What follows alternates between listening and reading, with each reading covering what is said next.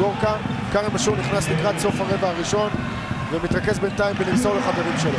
לא לקח זריקה עדיין, ראיתם את גולן גוט בצד של ראשון לציון, ליונס, דוסון, מונרו, טוני אנגר וניצן חנוכי, גם כאן שינוי בחמישייה, והנה חנוכי עם הנקודות הראשונות במחצית הזאת, שפרש, שגם פתחה אותו לשבע עם כמה פוזיישנים לקראת סיום הרבע השני. מה זה? מה זה?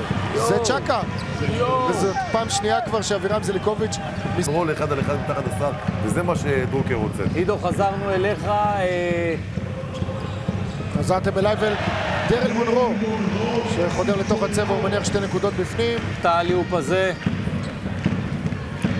וואו.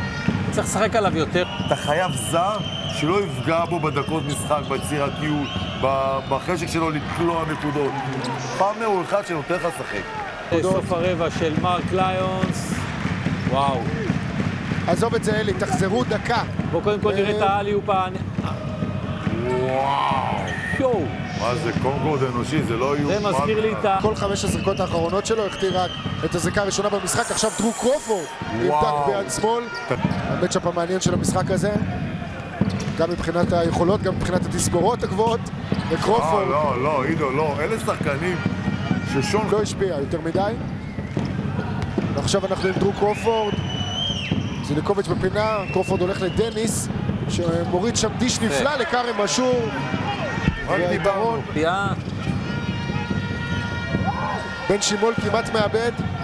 עכשיו מכניס פנימה למונרו. שמניח שתיים בפנים, דרל מונרו, עולה לתשע, זה מה שהוא עושה, והוא מאבד את הכדור, ליונס במתפרצת, שתי נקודות קלות, מיקי גורקה מבקש טיימאוט, ראשון, הבדל של עשר שניות בין השעונים, כרם אשור לוחץ את ליונס וחוטף, יואו! והולך דנק אשור, הרצליה עם המהפך שלה, 71-70.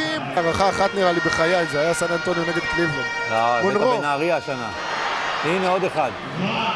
שוויון 71, כדור אחרון בידיים של סטיבן דניס מול חנוכי, חודר פנימה לתוך הצבע, דניס ביד שמאל יש לו! שנייה ושש עשיריות לדרוקר אין טיימות, מונרו מחצי מגרש!